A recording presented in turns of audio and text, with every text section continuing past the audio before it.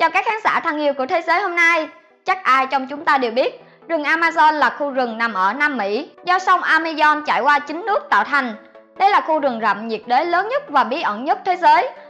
Và nó luôn khiến cho những người ưa khám phá cũng như các nhà khoa học phải tò mò. Tuy đến nay, khu rừng này vẫn còn là khu vực chứa đựng vô vàng bí ẩn mà con người vẫn chưa khám phá hết. Sau một vài bí ẩn trong số đó đã được khám phá, và tất nhiên, nó khiến cho chúng ta không khỏi phải giật mình vì những điều kỳ lạ đến đáng sợ của nó. Trong video hôm nay, chúng tôi mời các bạn cùng khám phá về Chuyến điều kỳ lạ đáng sợ mà khoa học đã tìm thấy trong rừng Amazon để xem bạn đã biết về chúng chưa nhé.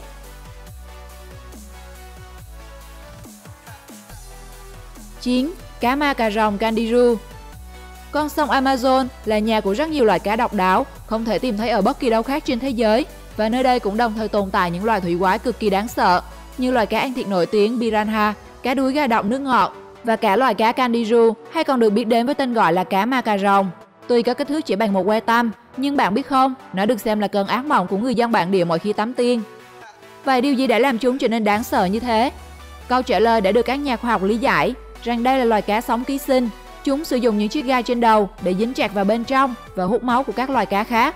Đáng sợ hơn là với kích thước nhỏ bé, loài cá này có thể luồn lách vào đường tiết niệu của nam giới rồi hút máu ở trong đó và tất nhiên, nạn nhân chắc chắn sẽ phải vô cùng đau đớn. Hậu quả của cuộc tấn công rung rợn này có thể là một cái chết trong đau đớn nếu con cá không kịp thời được lấy ra.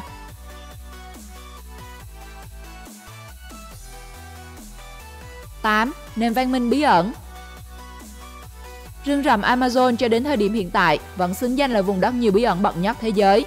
Bởi vì sau rất nhiều tìm hiểu và nghiên cứu, khu rừng này vẫn tiết lộ những phát hiện khiến con người phải bất ngờ, trong đó bao gồm cả những nền văn minh bí ẩn Tại một vùng đất nằm giữa rừng rậm Amazon, được xem là chưa từng có người ở, nhưng các nhà khoa học đã phát hiện ra những hình vẽ khổng lồ trên mặt đất, chalk.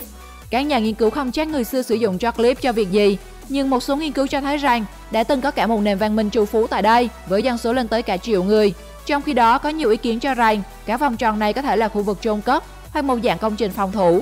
Trong khi đó, một lý thuyết khác là nhận định những vòng tròn là dấu vết của vật thể bay không xác định khi đáp xuống khu vực này trước thời điểm rừng Amazon hình thành Tương tự như những hình vẽ kỳ lạ trên cao nguyên Naka, Peru, sự tồn tại những vòng tròn ở Amazon vẫn là điều chưa thể lý giải.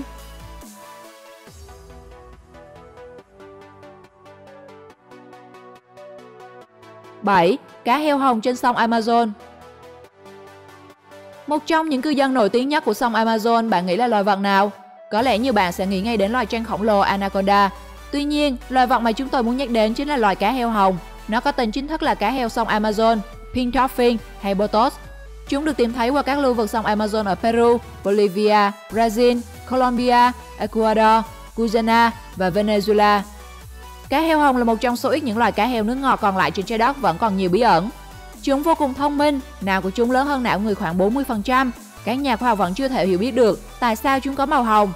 Nhưng sự tồn tại của chúng đã làm cho Amazon trở nên huyền bí hơn. Bởi theo truyền thuyết của cư dân nơi đây, vào buổi tối, cá heo hồng có thể biến thành một người đàn ông thôi miên và quyến rũ những người phụ nữ trẻ nhẹ dạ. Truyền thuyết là vậy, nhưng cá heo hồng rất thân thiện, nhạy cảm và sống hòa hợp với con người trong nhiều thế kỷ. Nhưng các chuyên gia hiện nay cảnh báo chúng đang đối mặt với sự tuyệt chủng cao.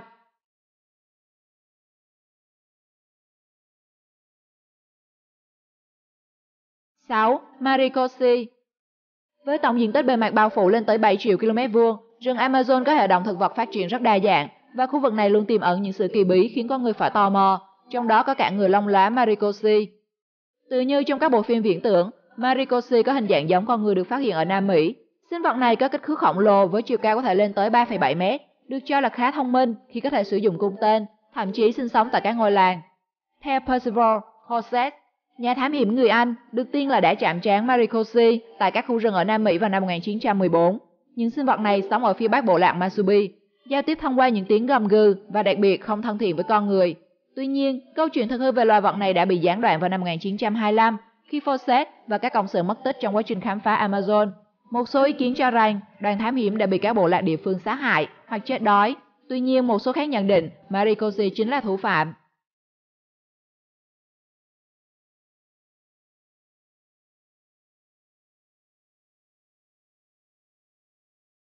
năm Khúc sông tự thần với chiều dài khoảng 6.400 km, sông Amazon có vai trò quan trọng trong việc cung cấp khoảng 20% toàn bộ lưu lượng nước ngọt cho nhiều đại dương khác nhau. Và tất nhiên, con người vẫn chưa khám phá hết toàn bộ chiều dài của nó. Chính vì vậy mà khúc sông tự thân được xem là chuyện thật như đùa, khiến nhiều người khó tin. Năm 2016, một nhà khoa học đã công bố một khúc sông tự thân ở ngay giữa rừng rậm Amazon, ngay đoạn chạy qua Peru. Có tên gọi như vậy là vì nước sông luôn sụp sôi với nhiệt độ cao khủng khiếp, đủ sức luộc chiến mọi sinh vật xấu số lọt vào nó. Khúc sông này được cho là dài khoảng 6 km, sâu 6 m, rộng khoảng 25 m, nằm tại khu vực trị liệu tâm linh của người Asanika tại Mayantuyaku. Phát hiện này đã gây nên sự tò mò đối với tất cả mọi người về những gì đang tồn tại nơi chốn thâm sơn cùng góc này.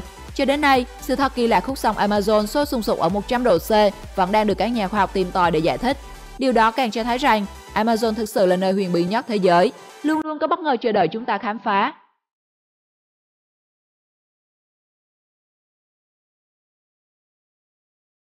Bốn, Chuột khổng lồ bạn sẽ chẳng thấy được ở bất kỳ đâu trên thế giới một loài chuột mà con người có thể cởi trên lưng.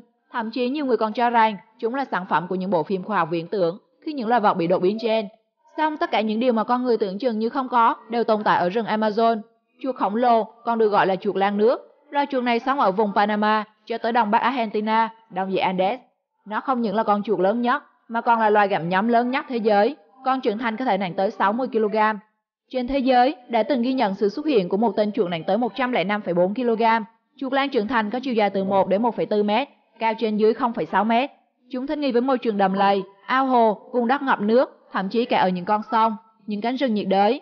Thức ăn yêu thích của chúng là vỏ cây, lá cây, hoa quả, thủy sinh, nhưng bản thân chúng lại là món ăn yêu thích của báo đốm, mèo rừng, chim ưng và đặc biệt là trang Nam Mỹ khổng lồ.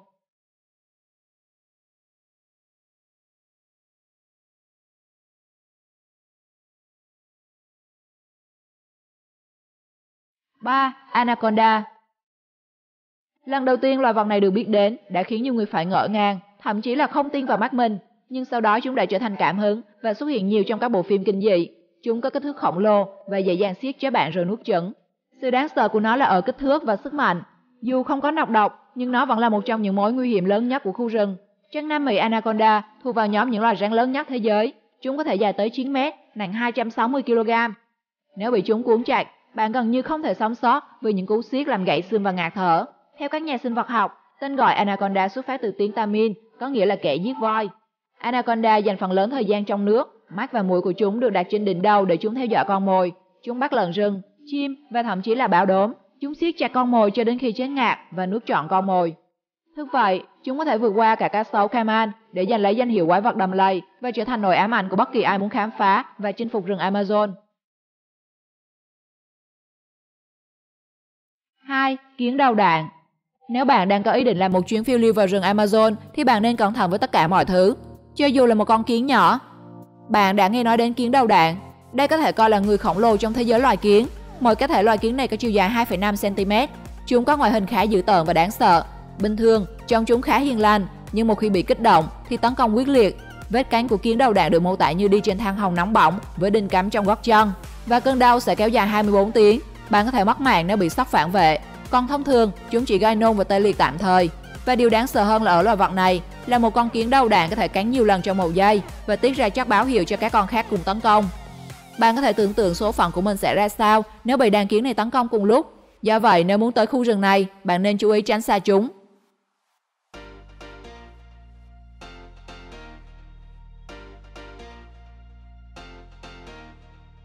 một Bọ sát thủ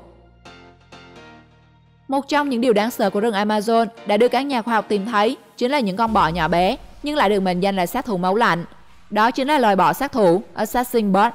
Loài bọ sát thủ này thuộc họ Reduvidae. Loài côn trùng này nổi tiếng là có nọc độc nguy hiểm chết người, thậm chí độ độc của nó hơn một con rắn hổ mang 10 lần. Bọ sát thủ được trang bị một chiếc vòi nhọn vô cùng nguy hiểm. Khi cần kim anh, chúng chết vào con mồi một loại hỗn hợp enzyme có tác dụng tiêu hóa nạn nhân ngay từ bên trong, biến cơ thể con mồi thành hỗn hợp dung dịch sau cùng, chúng sử dụng vòi hút kiệt số dung dịch này. Với số lượng tấn công khá tăng độc, chúng gần như không từ bỏ bất kỳ con mồi nào, từ ong, nhện độc đến cả giờ hút máu và thậm chí là cả con người. Ngoài vết cánh gây đau đớn, chúng còn truyền ký sinh trùng Trypanosoma cruzi gây bệnh trùng mũi khoan. Ở các vùng nhiệt đới và cận nhiệt đới của châu Mỹ, bệnh này gây ra cái chết cho 12.500 người mỗi năm.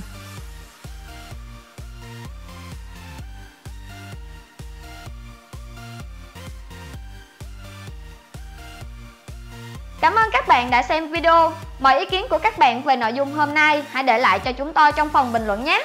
Nếu thích video, hãy like và share cho nhiều người cùng xem. Và chúng tôi luôn nhắc các bạn đừng quên nhấn nút đăng ký kênh để là người đầu tiên được xem những video mới nhất của Thế giới hôm nay. Xin chào và hẹn gặp lại!